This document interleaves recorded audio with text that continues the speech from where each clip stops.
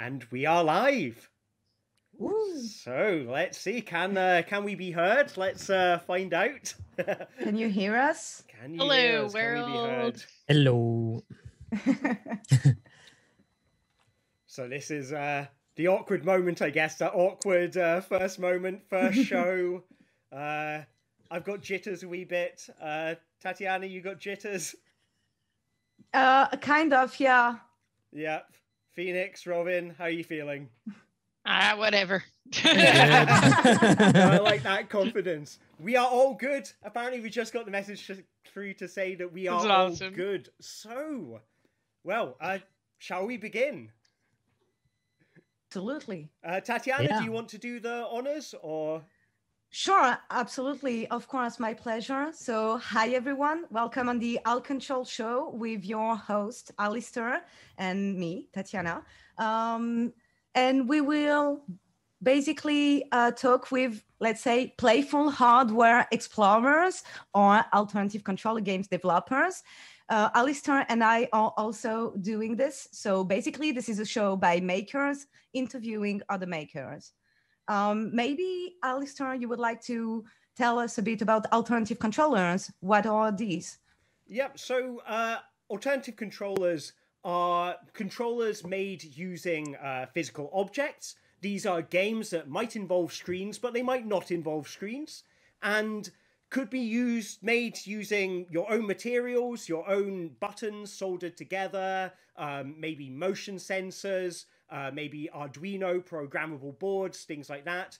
Um, or they might repurpose existing objects, things like uh, wobbly door stoppers, for example. We've got someone on stream who's worked with those. Um, or paper shredders. Uh, we've got someone on stream who is me, who has made a game out of paper shredders. And today we have uh, Robin Baumgarten, a German independent uh, game developer that is not based in London, but since recently. Um, he's basically the master of LED strips and king of wobblers. And we have Phoenix Perry, uh, the OG playful hardware priestess, um, also roller skating since recently. How are you guys? Very good. Thanks. Great. So, So, uh, yeah, go on, Alistair, please. So yes, I mean one of the reasons we wanted to bring you together onto this stream is that we know that you were working together roughly this time last year um, on a on an installation called Forest Daydream. Um, so I thought it would be nice, sort of, uh, as an introduction for our audience, uh, to show them a bit um, of what uh, Forest Daydream is, so they can build a picture of it.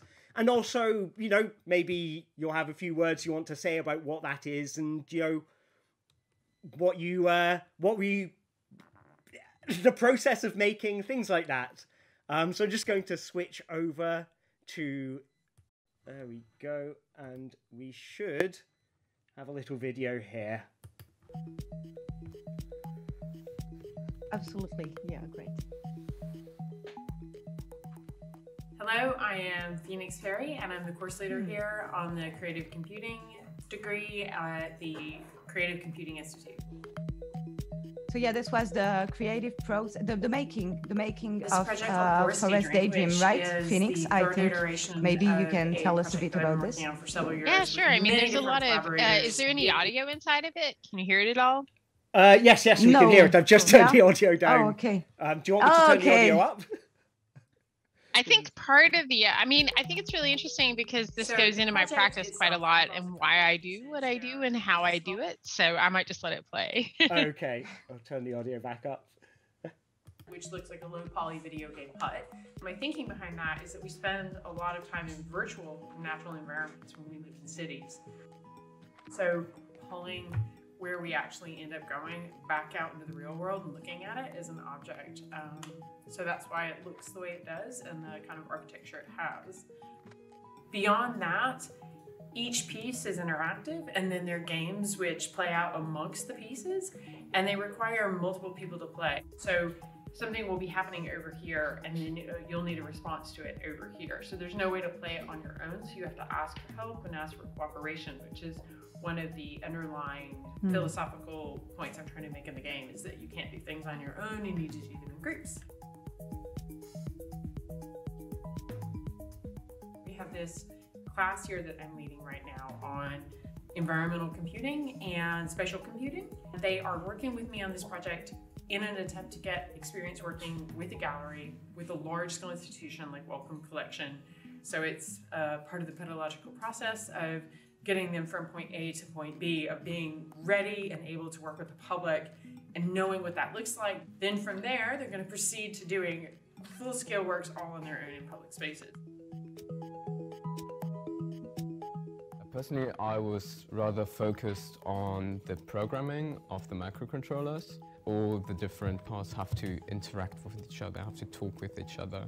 So every, every button press has to be signaled somewhere else, and all the different parts have to be co coordinated into one single game. You've got sounds going on and lighting and all these physical models. So these really create an environment. I hope like people coming would feel relaxed. I worked on the soldering and the wiring, and I also helped with the construction of the dome and the trees. You are not designed for yourself, so you need to study how others behave and, uh, and interact. My name's Ben Kelly. My role in Forest Daydream it was almost like a sound supervisor role to create an immersive soundscapes which evoke uh, the rainforest and also music composition. Los Casinos is an ongoing project with the Wampi, the indigenous community who live near the Ecuadorian border of the Amazonas rainforest. I spent some time with them two years ago and developed an ongoing relationship as an artist uh, to help with their government to help deforestation and indigenous land rights. The sound recordings, the soundscapes are very immersive as a, again a hyper reality to try and aim to trigger this emotional feeling, this primal feeling of interconnectivity with nature. I hope it stimulates audience members to ask themselves questions of their own role within the social ecological system.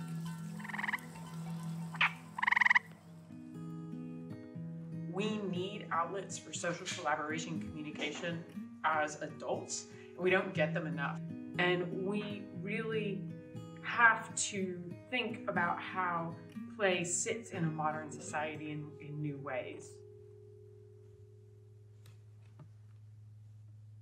It really is a beautiful piece. Like, uh, I mean, it's a shame that uh, it's sort of time in the spotlight got uh, cut short by uh, COVID, but I mean, it's it is really good that you got to uh, develop that. Like, I understand that it's like this had been a long kind of a project that had kind of been brewing for a long time. Is that right?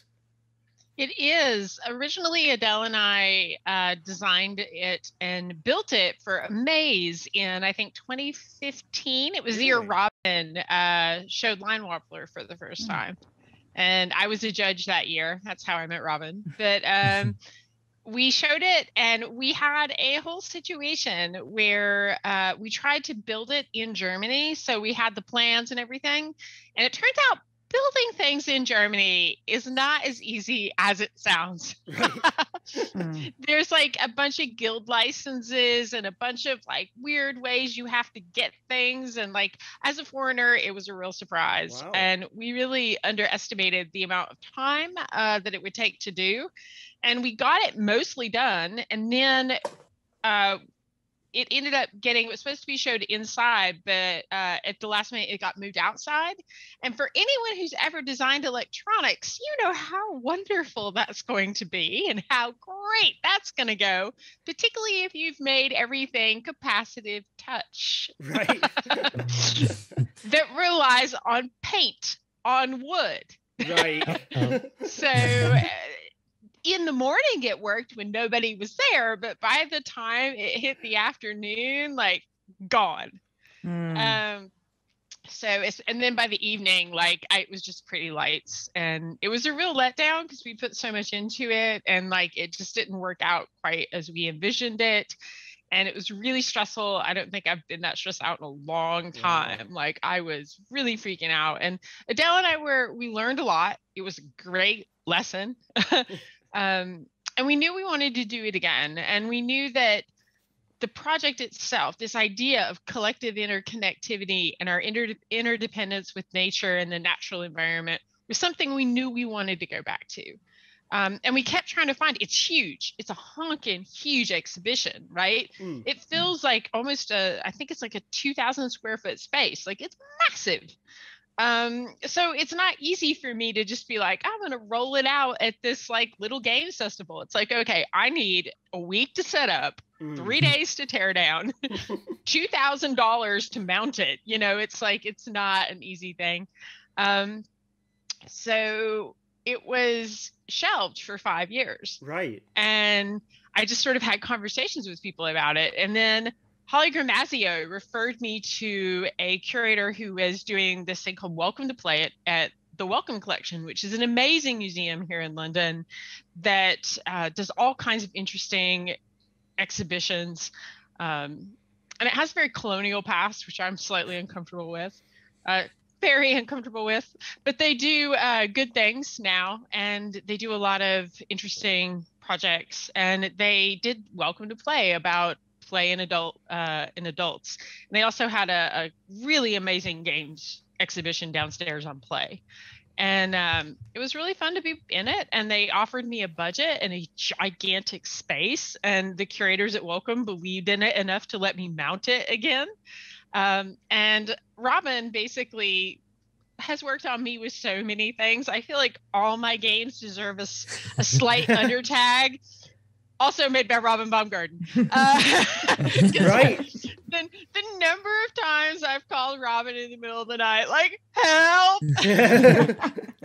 Because you were. Deadline's 5 a.m. tomorrow. I haven't slept in a week because you used to both be uh, living in London, is that correct? Down the street. Yeah. Down the street. Right. Yeah. So, yeah. So Robin would come over and help me like surface mount solder a bunch of nonsense or, you know, just finish things up or help wrap projects. And he's he's worked on so many of them. um, so of course this came up and i just thought immediately of robin because i thought that lit with his strips uh, it'd be beautiful and he knew he just decommissioned the christmas tree mm. that's right yeah so, so he had a ton of leds could you just uh, briefly describe the christmas tree for us just uh, for the audience who, at home who might not have seen it uh? sure thing so that was like a, a commission a while back for um, games london um, and they wanted uh, to make some uh, like Christmassy exhibition. I think they were thinking of arcade games but first. Um, but then uh, we figured out we couldn't make a, a, Christmas tree installation out of line wobbler. So that's like a weird uh, double helix spiral um, in the shape of a Christmas tree with like um, like two intertwining line wobblers, and there's like 100 meters of LEDs, and I, I think 200 amperes of power. Crazy. Oh yeah, you have the hmm. strips there.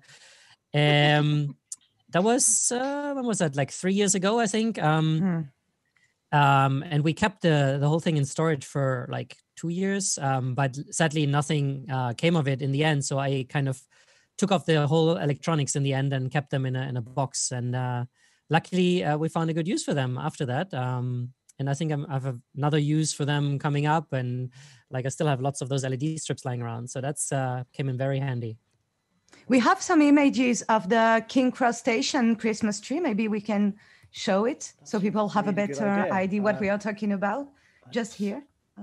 Oh yeah, yeah. I'm just uh, bringing yeah, them up now. It was a yeah, it was uh, King Cross Station, I think. So that was like a big exhibit, uh, public space and all. I mean, I assume it's a step for you to have this kind of exhibit in public spaces. It's not yeah. a challenge definitely very interesting um also like you know you have to go at 2 a.m in the morning because there can't be any visitors there or like people who took the train while mm. you're installing this thing so like being at the station at night and setting it up and then all the people who would destroy it basically by running into it with their coffees in their hands without looking and, and it was over christmas as well and i was in germany so i had to phone someone and have them go there at night and Skype call to repair. It was uh, quite a fun uh, fun exercise. Looks like it. Um, maybe uh, we should start telling people what's the plan for the show. Alistair, should I proceed? Yes, please do. Cool. So uh, the plan for the show is that we'll kick things off by chatting about your history with alternative controllers, and we'll then take some time for you to show us something don't say anything don't spoil anything at this point. Um, but it's something you've made or something you're working on. And then at the end there is an interactive element for our audience to join in on. So uh, the audience people in the chat be prepared. And yeah as the starter actually what interests us is how did you start making playful hardware or even just electronics involved in game design somehow uh, how did your that how did life put you on that way maybe phoenix start? let's start yeah, yeah um, oh sorry as you wish I just talked for a long time, Robin. You go first. okay, right. let's go, Robin. Thank you. Let's go. Sounds Robin. good. Sounds good. Um, yeah, I uh, came to hardware from uh, mobile games first. So I was uh, making a couple small mobile games, and uh, one of them was um, was doing well. So I said, okay, maybe I'll make a sequel. And like the first one had like little buttons, and then said, okay, maybe make a game that has sliders um, instead of buttons. So like you know, slowly increasing complexity. Um, but at that time, I was also doing a lot of uh, game jams, digital game jams, where you you know make games in a really short time. And around that time, I think I saw people making, bringing like Arduino kits and like a box of random nonsense and stuff, and uh, you know sensors, inputs, outputs.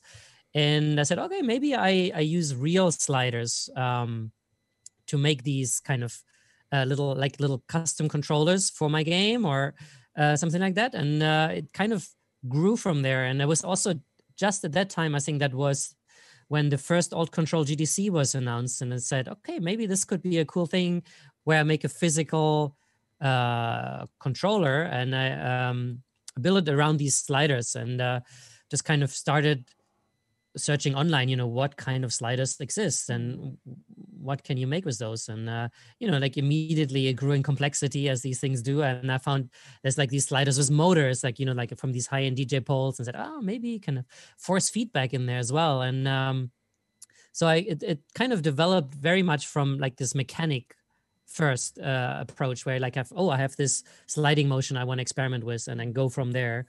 And uh, that was basically the first project um, that was really like an like an alt control project for me. Uh, before that I, I dabbled a bit with arduino and dabbled a bit with games but i never really combined the two and uh, i wasn't really aware of uh, of a scene you know like um, that probably phoenix will uh, shed some light on later. Um, uh, but uh, that was my first double in into that, and um, that was immediately shown at Alt Control GDC, like you know GDC, the biggest uh, games conference in the world, which was crazy from from like you know zero to like this massive show floor, and uh, it was a great experience, and that basically got me hooked on uh, making more hardware things and then having them shown there and at other places, and uh, my sole motivation was basically just uh, show weird stuff to people and, and like there's no you know secondary objectives in the beginning for sure. Mm.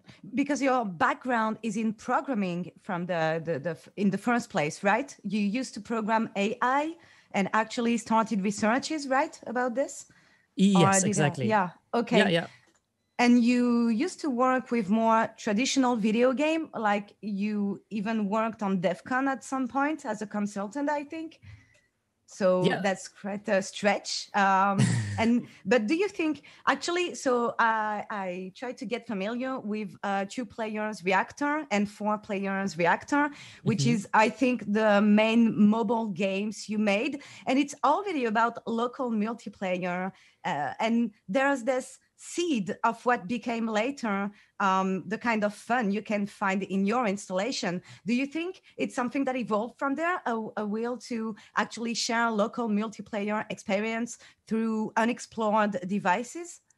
Yeah, definitely. I mean, and you you mentioned that I yeah I'm I definitely started from the programming side. So like uh, as a typical programmer, you have you know no knowledge of uh, graphics or aesthetics so everything mm. i made was incredibly ugly in the beginning uh, just programmer arts or googling for uh, royalty free icons and um, that kind of also pushed me towards like this uh, concept of creating fun between players where the, the fun or the the content not necessarily happens on a screen but between people you know like mm-hmm. this typical uh, local multiplayer concept where people have fun with each other rather and just use the game as a vehicle not as like the the core of the experience and um, yeah that uh, the two player reactor game was um, surprisingly successful i think it's a, um, a couple million downloads. I mean, it's a free game, so I didn't uh, become rich of it, but um, that that definitely um, you know, it's like a game where you press a button, and that gave me the idea to make a like a sequel with a slider. I never made the mobile game in the end, but just stayed with the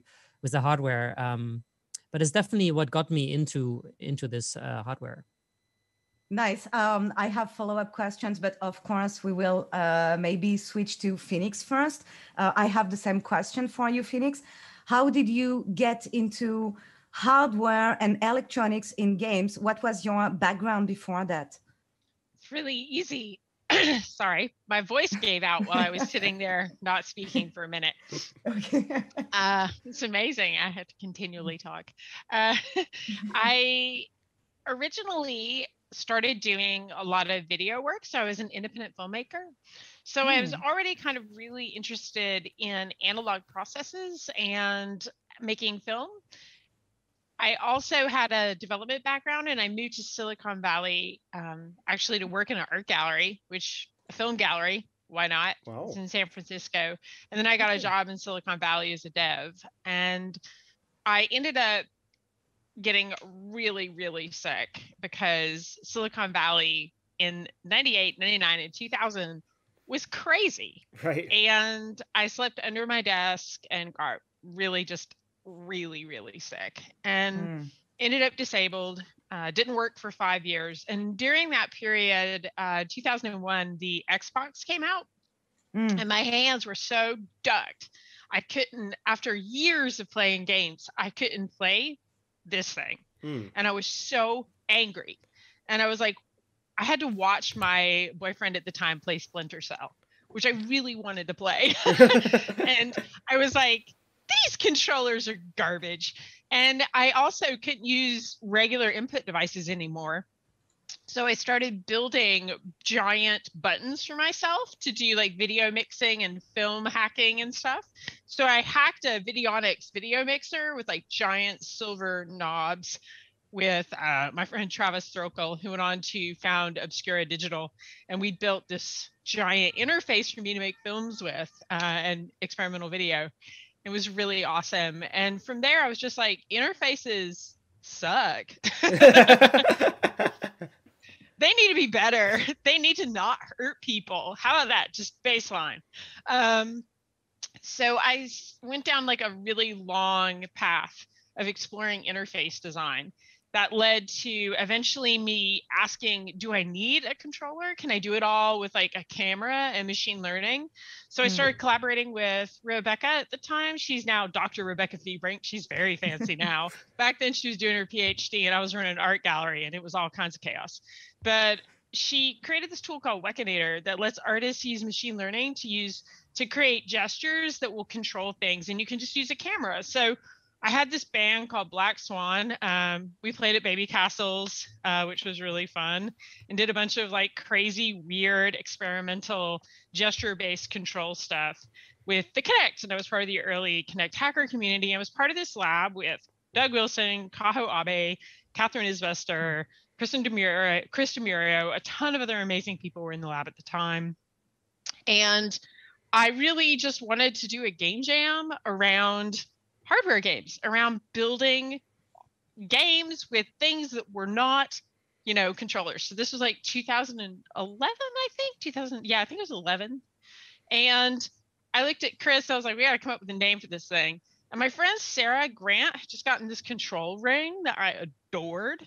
And i was like chris i want to call it control something. And and chris was just like what about alt dot control? Like alt dot you know, stuff on Usenet. And I was like, yes. and then, you know, that was really awesome. Make Magazine sponsored it, um, as well as Adafruit, It Got Orange Press, Kaho, and Catherine judged it. The games that came out were super fun and wacky. And there was the one that won was this like multiplayer tank that was made with cardboard and it was like a whole tank interface and it was distributed Wow. amongst four people. It was super great. And then um yeah, all kinds of weird games, Kinect games, hardware games, weird interfaces. The only rule we had was you can't use traditional input devices. Uh, so that was very exciting. And then we did a second one, but it spread like wildfire. We got an email very shortly after from some Russian folks who said, Can we do it in Russian? We were like, Yes. And then literally it went to Copenhagen like within months. And then a couple months later, it's at GDC. And I was like, What the hell happened? Wow.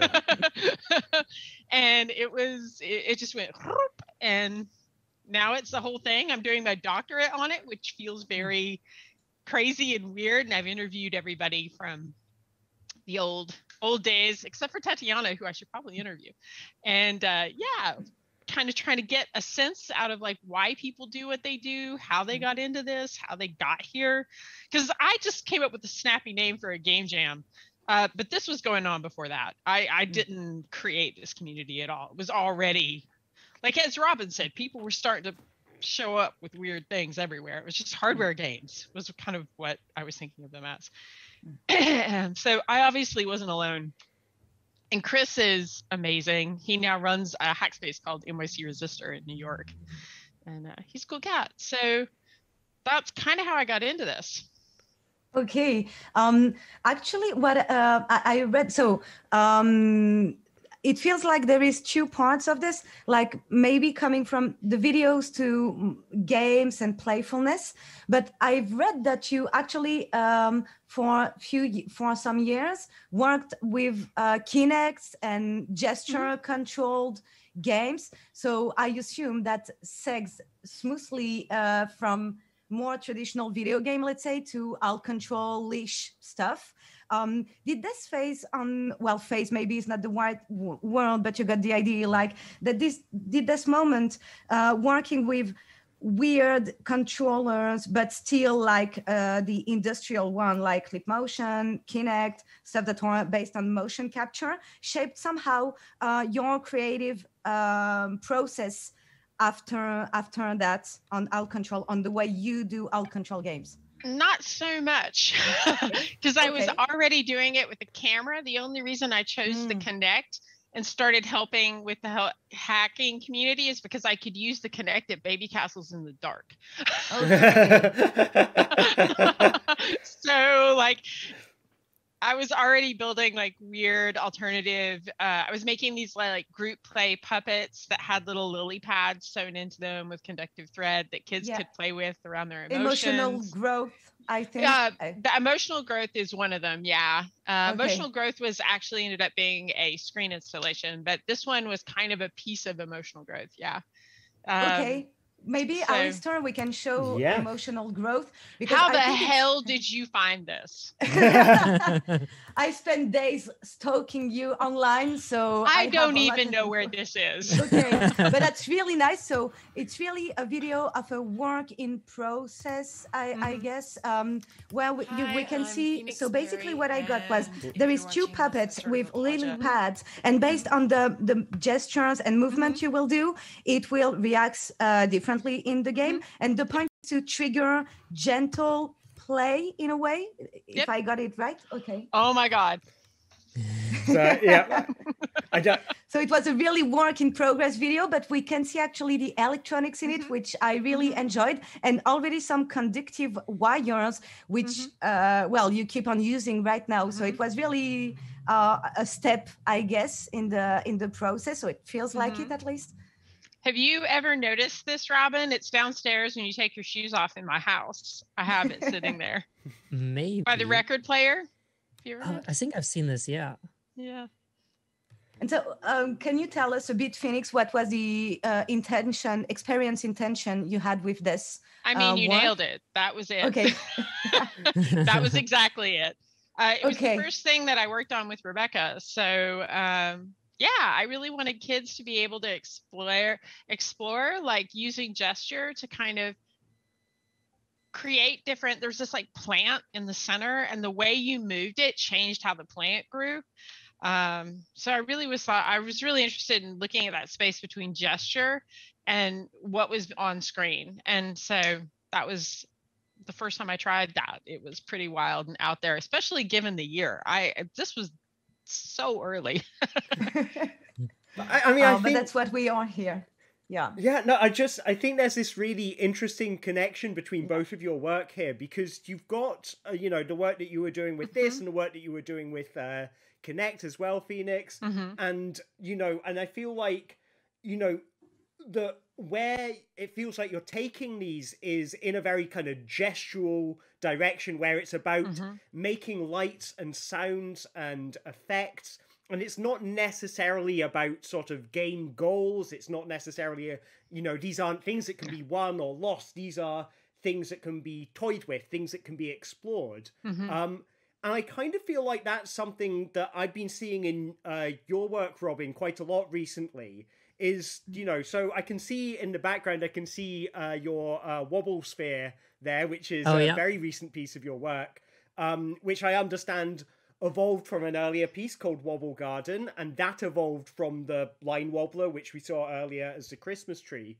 Um, and my understanding of that piece is that uh, that it is much more about kind of creating the visual effects, and you know, it is about you know creating these beautiful swarms of colors with the LEDs. So, I mean, I don't. I'm just curious. Like, is there something that's kind of are you both being driven by a similar desire to create you know pulling you through or is this actually just kind of is this separate desires kind of pulling you in a similar direction you know like what is could you tell us about the sphere and where you're trying to go with that Yeah, sure. I mean, that'll uh, I'll show it later as well um, in the in the demo section.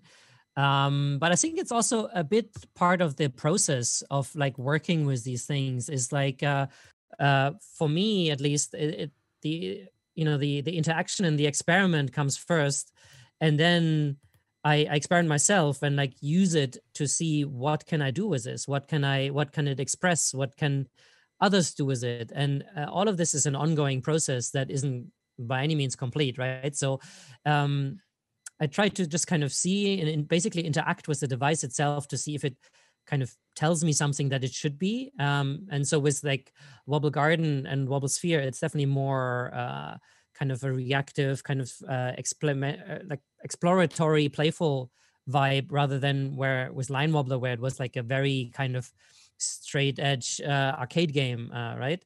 Um so with uh but you know that might change in the future as well. So right now i i do like this kind of um ambient vibe it has um and i'm trying to make more modes. I want to see can you do uh a- game on it like an arcade game? Can you make multiplayer games that have that are goal driven right? Um but i do like this kind of just like as a as a mood object as a kind of very ambient game. I, I do like this how it came out. Uh, in the beginning i was very much maybe it's my my programmer mindset thing Ooh, i need to have a goal. I need to have rules. I need to have mechanics and there needs to be a win state you know? It's like very classic thinking of video games. Um, very much uh, old school in a way um and it took me a long time to overcome this and saying okay no i'm Mm. cool with this. I'm cool with experimentation. I'm cool with exploration with like no win uh and and I'm, I'm still struggling a little bit with it so i'm kind of still thinking Ooh, can i make something like a real game out of it but i think that's like uh, uh not the right way of thinking in a way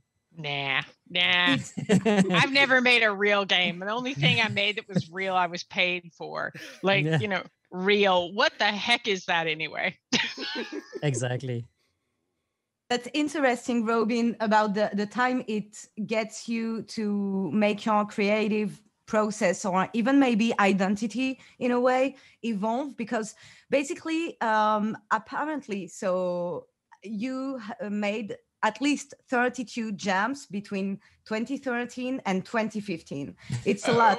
Some of them uh, were like Oh, awesome jams, not to say that the others are not, but I'm thinking about Zoo Machines, which used to be like a really great alt control jam. I'm thinking about Splash, which, which is on a boat, the train jam where you cross the US, and of course, Exile, uh, in Denmark, which is Mhm. really nice to be isolated in the countryside. And it's also, I think, where you did Line Wobbler, which happens That's to right. uh, become your most famous piece, I guess, or at least it looks like it's really the piece you're known for, at least nowadays, for sure. Um, and the thing is, after Line Wobbler, um, you didn't do that much LED for like two or three years. So I was wondering, like, uh, is the fact that Line Wobbler got 10 awards and 110 exhibits, I counted them all. Uh, so I'm short my numbers. Um, did, did at some point, like, you felt like, okay, uh, I'm doing a lot of wobblers and LEDs. I need to do other stuff like Knife to Meet You, Rotator, uh, Schrodinger's litter box, and rubber arms, because rubber arms is really about the playfulness you're mentioning. Yeah, I mean, there wasn't really, uh, at least in the beginning, there wasn't really uh, uh, like an, a need to kind of continue with LEDs. There was just like a uh, basically a random output medium I chose. I basically I, I didn't even bring an LED strip to that jam. That was just there in in uh, a box that I think Ta- Tim Garbos brought along with him with like arcade buttons and everything. I I just came with the idea for this uh, joystick for the spring, um, and I brought this and a sensor.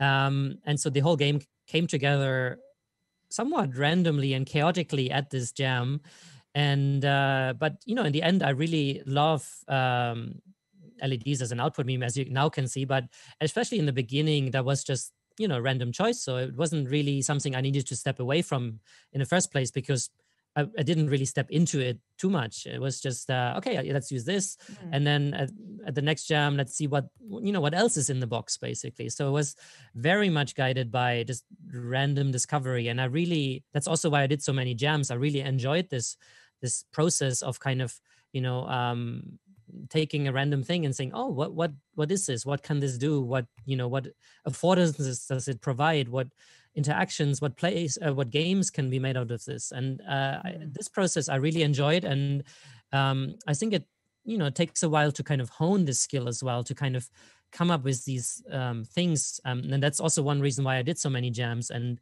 in the end all of the jams i did were entirely hardware driven like no uh, solely digital games um, but yeah it, it was um, it was a random step into like the LED world, but it definitely I definitely feel at home there now. It, it feels like a Mm. like a cool way to express myself without having to rely on you know fancy 3D render technology or uh, even Mm. um, pixel art or, or, kind of complicated things.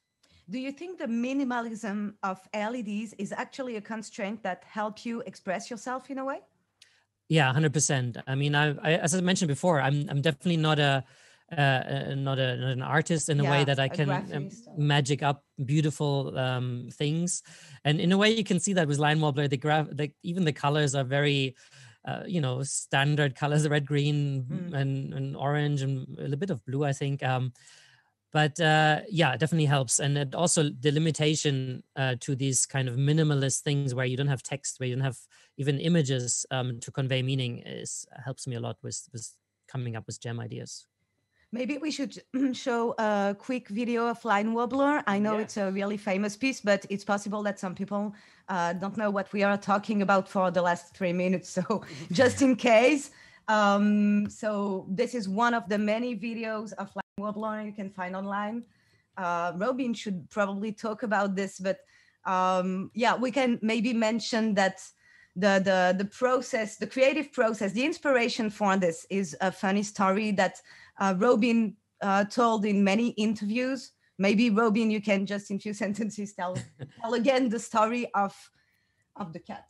of the cat yes um so I yeah, that it's basically all about this joystick, right? This joystick is a is a spring, um, and the inspiration from this came from a cat playing with a doorstopper spring, reaching un- uh, with paw under the door, and and flinging that spring. There it is uh, in the video, or probably slightly delayed for me, but uh, uh, yeah, um, and. Uh, when I thought like, oh, if cats can have fun like this with the springs, maybe humans can too. And uh, from there, it was a really small step to uh, putting a sensor on it and then figuring out what to do with it. And um, in a way, it was uh, good luck that I found this LED strip and um, kind of came up with this game uh, together with Matthias Maschek at this game jam. And then from then on, I took it further and kind of honed it uh, into uh, this kind of uh, really compact and condensed experience that it is now. Mm-hmm. Awesome. So as time is running quickly, maybe uh, we could come back to Phoenix and talk about what I think is your most famous game. I'm well, playful experience.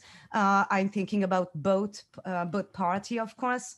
Uh, is it fair to say that it's your most famous experience? At least that's how I heard about you, Phoenix.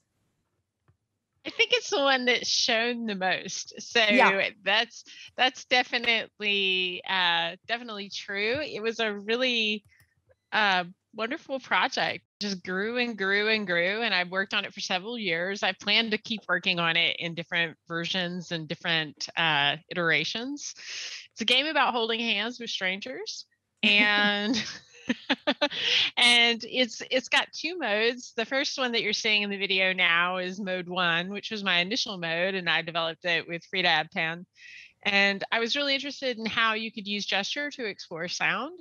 So there's a lot of gesture stuff going on in the back end of Bot Party and a lot of subtle signal processing that makes it work that way. People sometimes think it's like at the Makey Makey. I'm like, no, I wish. I wish it was that easy.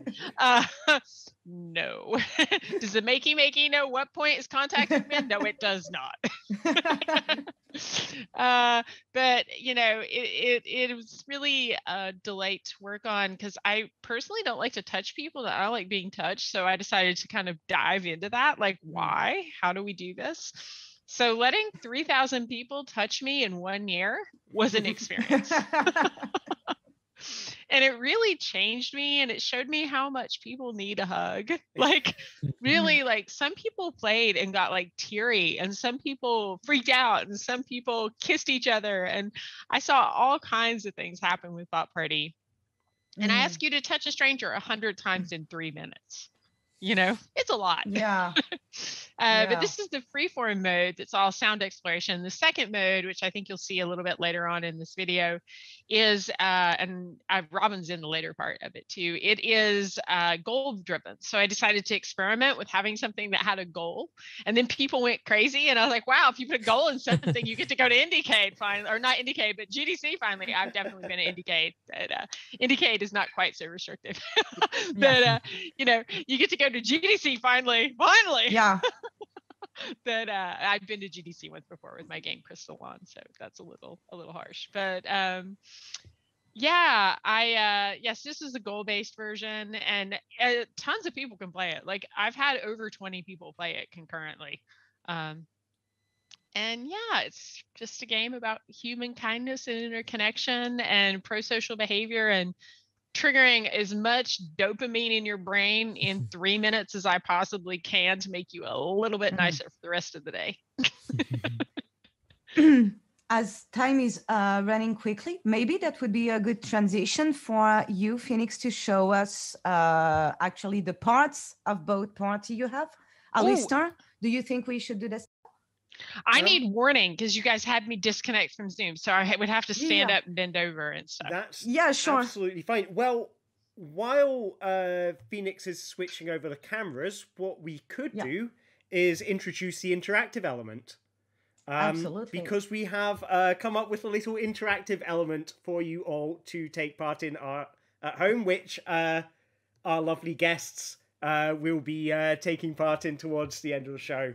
So our challenge for you um, at the end of the show for like the final five minutes or something will be to come up with a new idea for a uh, for an alternative controller or an alternative controller game.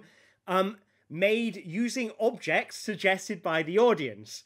Now, the audience can type into chat. If you type anything into chat beginning with an exclamation mark, that will become a uh, object that uh, our guests might uh, be able to use.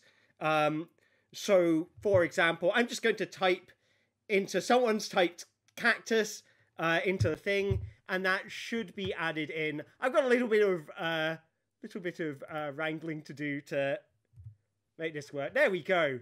We've already got people adding objects to the toolbox. So in the So, final yeah, um, segment of the the- show, uh, yeah, go ahead. the stream is a bit messed up. Yeah, the, the, the stream is a bit messed up right now. It's because we switched to have two screens coming from two cameras coming from Phoenix. Uh, everything will go back to normal in a minute. Sorry for the interruption, Alistair. That's okay. Uh, do we want? Uh, do we want to switch to the simplified view uh, just for this while we've got the five cameras up? Yeah. Yep, I will do that. Uh, there we go. there we go. we planned ahead. Yeah. So yes, uh, well, Phoenix, do you want to tell us about the uh, the bots uh, that are on camera? Sure. now? Sure, sure. Uh, so this was a exploration into sound that started with uh, BabyBot. Uh, so I, like Robin and like you, Alistair, have idea what I'm doing most days. and I just know that I want people to interact together, and I make these kind of provocations and stick them in a gallery and see what comes out the other side. Uh, sometimes it's good, sometimes it's bad, but when it's good, I try and keep working on it. So this Zuraida Buter, who's now the um, curator at A MAZE, curated this in her Playful Arts Festival in Holland. And I loved being in that show because she let me build basically anything I wanted. And I built this little bot. And um, it's a synthesizer that connects to a step sequencer that is big enough that multiple multiple people can play it together. So it just sat there and people played with it and made sound. And I was really surprised, just like the act of making music together, how often people would just stick around for like a good chunk of time. So that was kind of cool to see. And I knew that I, I kind of had something with that group interaction. So then I made the version that you saw in the video, which is these uh, the gold uh, or the blue, the pink, and silver bot, which were just the open-ended sound exploration. Uh, there were a lot of good things that came out of this, but then there was a lot of things that were I thought could be optimized. So from here, I did a bunch of playtesting and collected a bunch of data and kind of thought really deeply about you know the player comments that happened uh, at the time and from that came this version which is the version that is that kind of has this version is actually inside this version. Uh, so this version has two buttons and you can either go back play this mode or you can play this mode which is the goal based um, mode that people love and is really fun. Um, so these three ladies come from that and they light up. So there's no indicator of the indicator of which bot needs to connect to which bot the eyes light up, but it's not a strong enough indicator. So these boxes glow and that just works. Um, but yeah, each time along, the game design got better, the interaction got smoother, and I kept adding new rules. I worked with Charlie Ann Page on this version. Um, and she is a amazing designer and amazing developer. And we had a really good time working on this. So that's the uh, and Brian Jackson did the sound for this version. So I mean, uh, it. I'm curious about the sort of the process of um, creating this. I mean, was it something Mhm. that you had a kind of, you know, a, a kind of idea for how it was going to work, and that you kind of put into Oh, no. and put into the world? Okay, I mean, no idea. right. Okay, so where I was just- the was there a point where it kind of it clicked that you had the right combination Mhm. of bots and inputs that you went oh this is the one where i feel like it's working you know this is the one where i feel like it's doing what i want it to do hmm I don't know if it's behind me. Uh, I got an oscilloscope for Christmas after the year that I did this one. Mhm. And I realized that I got really into looking at uh, what would happen with the oscilloscope with like different things going on because I was just interested in a oscilloscope. And that's when I realized I could probably use machine learning to like detect different interruptions. Right. So like I could probably work out like if some signals were crossing that the distortion would be clear enough in the waveform that I could pick it up with machine learning.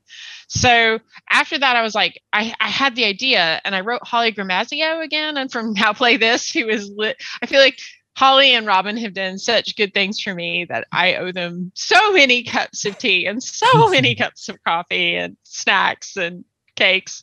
Uh, but I said, Hey, Holly, I've got this crazy idea. um, how about this game that is about uh, that lets me, uh, strangers make music together while holding hands? And she goes, I love it. and uh, she put it in uh, now play this and that was this version. So uh, from this version I, I listen to what players say a lot. I take a lot of time to analyze what they say after i record things. I take notes. I think really hard about it. Um, and i knew that what worked about this version was how the interaction that was occurring between people touching the object together. So that's kind of how this arose. Um, right. That's Awesome. fascinating. I just it's yeah really like and um, maybe as we have eight minutes left uh, robin you also prepared stuff to show us so maybe we can transition well without further ado actually uh, yes, so I have two things. Um, one thing is already plugged in actually, and it's actually the LED strips you can see uh, behind me. Um, I'm not sure how well they come out, but um, it's actually um, a little bit on the lines of like a kind of a line wobbler. Um, what else can you do in that space kind of experiment? And I found these um, big let me get this up here um, big boards that are used for Wow.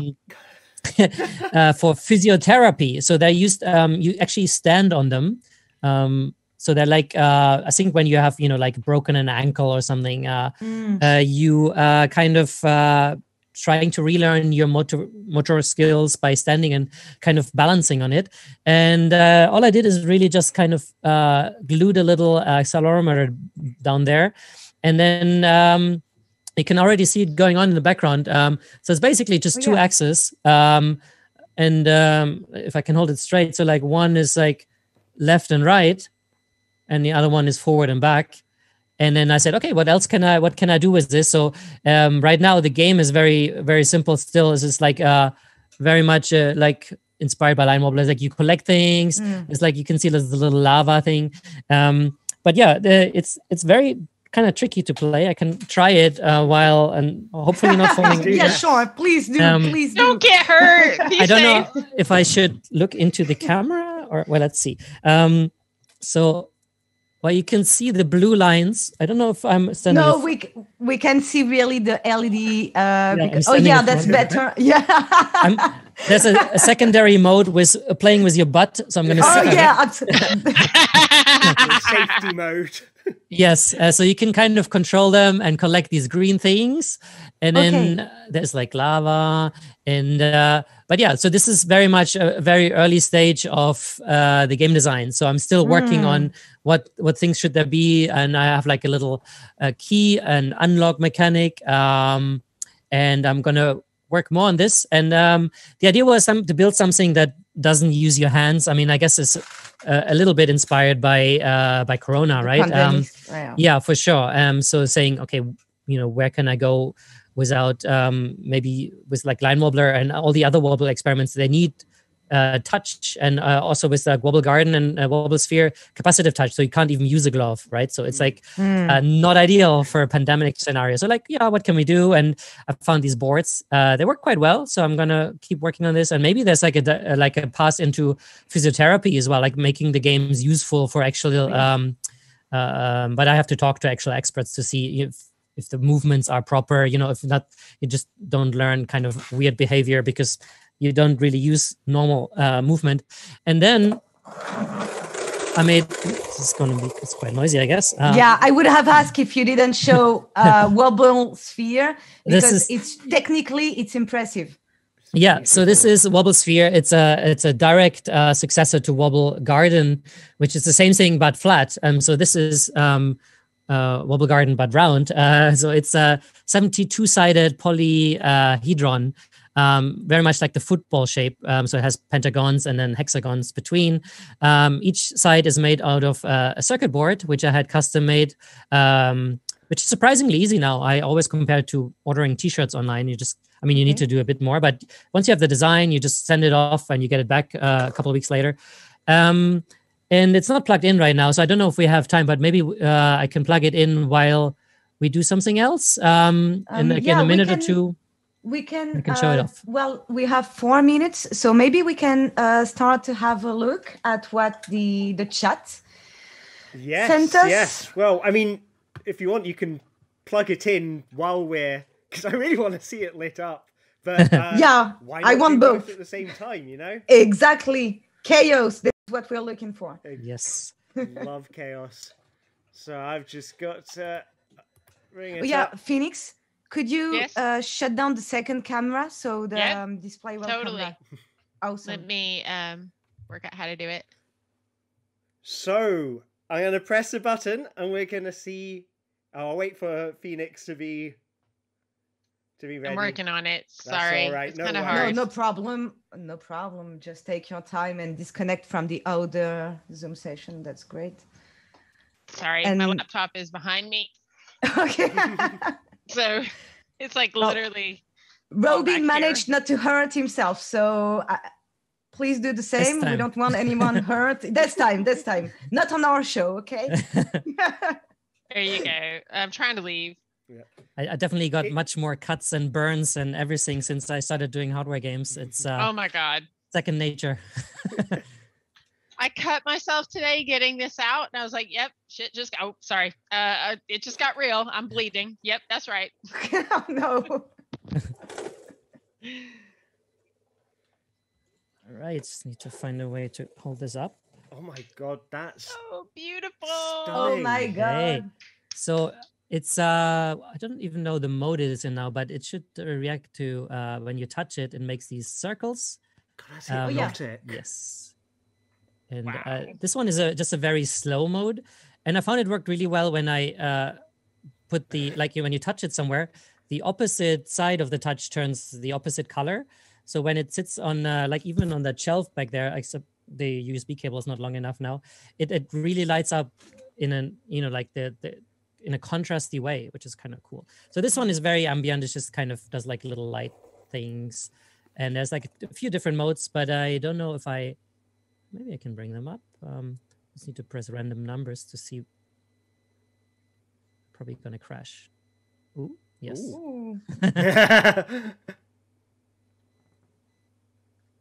Uh, so this one is like little worms and stuff. Th- This is fine God. for epilepsy, right? I'm just thinking about this right now. Like people Yeah. that have heli- epilepsy uh, don't have a problem with this. There, right? there shouldn't be fast flashing except when the power Okay. supply stops working or something, but uh, uh, should be fine. Okay. That's But yeah, amazing. I mean, uh, we're running low on time, right? So we should do something. I mean, it's I, don't know. it's I can it- leave it here and uh, It's not a hard. I mean, it's not a. It's not a hard cut off time. So if you both have time to uh, continue, like, is that fine with you to like I've run on a bit? Got no life. No life. No life. Robin, are you just in the same boat? Yep, absolutely. Super. I So mean, we have a question in the chat that I think is quick to answer and interesting. Do you think you could make a version of Wobble Sphere that is strong enough to be a football? Or do you think it would be way too fragile, too weak? Uh, it could be possible. I mean, it's um. Oh, Uh, let me just put this down for now. D- it's just a Uh, quick question because we are running yeah, late, as you I think said. so. Uh, it's surprisingly sturdy. I just um, put it together with some 3D printed stuff, and it, it's like you can probably drop it and nothing happens. It's going to be painful to kick, but uh, maybe that's. the fun of it. Th- that's the pro- yeah, that's the player's problem. Got it? Okay. there- so okay. I just want to say there is something really, really beautiful about it as a piece of work, which is how three dimensional it is. You know, when we're in al- alternative controllers, we are working in a space where, you know, where the 3D world is kind of part and parcel of what we do.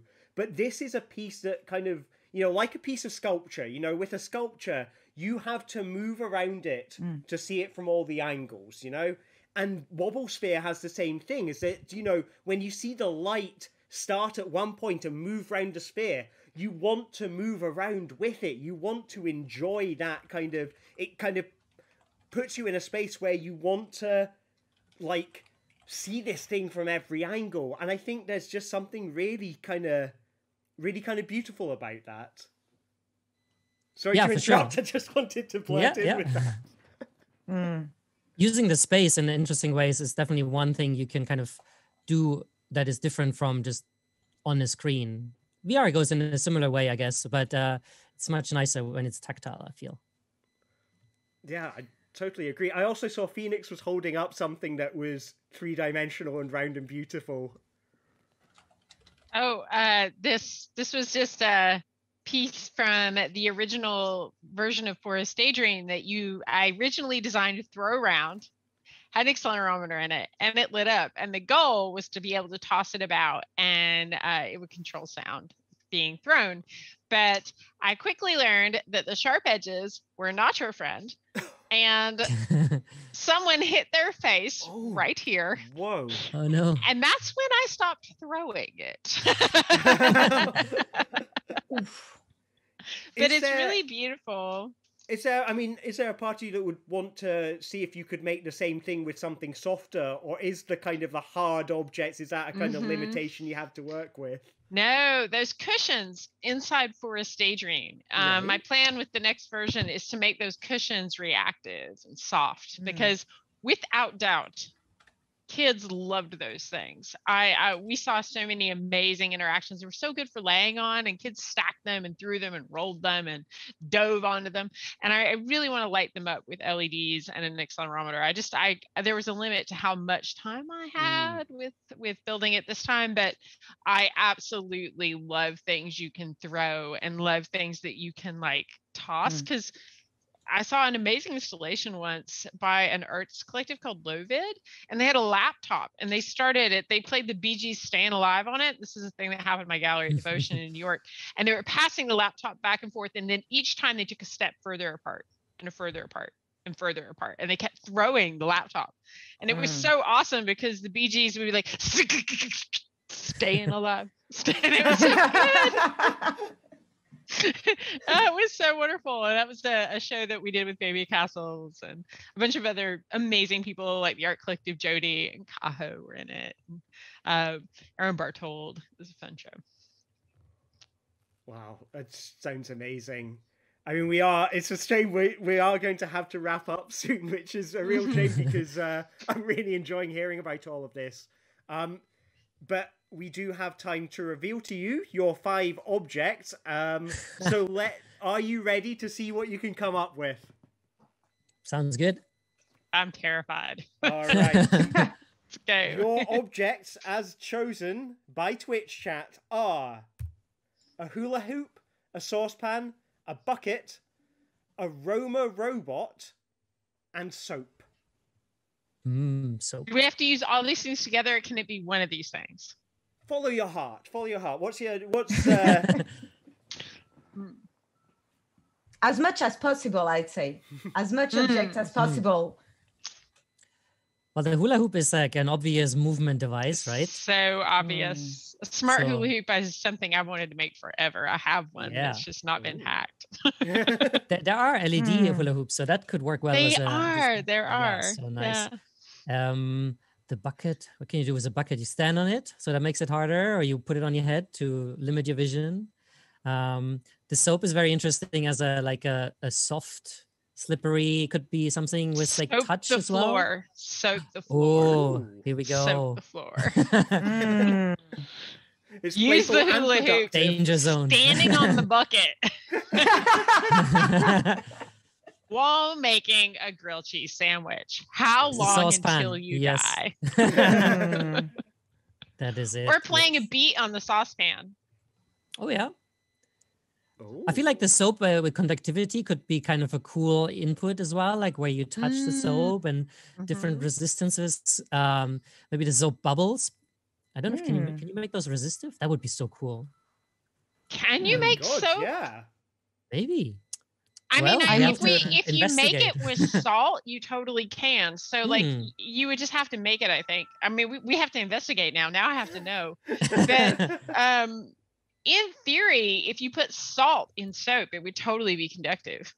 Yeah, I wonder Just if like it, how it affects the the surface tension and stuff. But yeah, that's one thing we need to investigate. And I guess when it's in a a, a big soapy mass and you touch it at some places, you should be able to test or figure out like, you know, like how much you touch it, like how strong Like you big disturb the soaps. pile of bubbles. So that could make sounds, right? Like, mm-hmm. that'd be cool. Yes, I like Why this. did you move? Why did you? we have to do it remotely now, or you come to Berlin as well. Who suggested soap? That was a very good idea. Soap was so good. Oh, Uh, bouncing on the there was a robot bouncing on a robot. Oh, Oh, we had the lord. robot. Yes. Mm. Oh, the kitties. I feel like Robin needs a cat to come into this robot Oh. situation and ride the robot because Robin, cats, Mm, robots. that's a good plan. Yes. No, I definitely want to have like games for animals as well. That would be so cool. yeah. So, But I think this so- is uh, already a lot of brain food. So very cool suggestions Yeah, for sure. and the, Yeah. The chat went uh, well, gave a bunch of great ideas too. Um, apparently, the roamer robot is actually a type of robot developed by the MIT in the 60s. I have to admit, I've Ooh. Right. never heard of it before. So sorry if we if if I don't know this. Sorry for my ignorance. I will uh, make something for this. And we have a question that came in the chat. So again, uh, question, a quick question. Um, with all those interactive LED objects, are there any light painting projects? Did you do anything with light painting? I, I haven't done anything with it, but it's definitely Okay. uh, on my radar. Like the LEDs would be able to do it. Um, you just need like really high refresh rate and then do some fancy masks, and uh, there you are. Um, uh, it would be a cool project, but I haven't uh, haven't done anything yet myself. Same for you, Phoenix. What was the question? Oh, did you work with light painting at some oh, point? um, no. Okay. I did live. I did live experimental video. That's enough. Great. Um, I think we are running slightly late. Um, do you have anything to add? Maybe I wouldn't like you to stop without mentioning something important. The one thing I'd like to say is that it is so wonderful to be on a show with hosted by other people I know get what I'm talking about. And that is just so cool and so lovely. So thank you for doing this. And thanks Well- to Indiecade for hosting it. Thanks a lot for joining us. It's a pleasure to have you, and it's really easy uh, with talkative guests. I'm really glad you have so much to say. It makes our job way easier. So that's cool. Robin, a last word, maybe? Um, something to say? Yeah, I mean, like I would say, like you should if you haven't tried. Ooh, uh, yeah, it's time to wrap this up for sure. oh, yeah.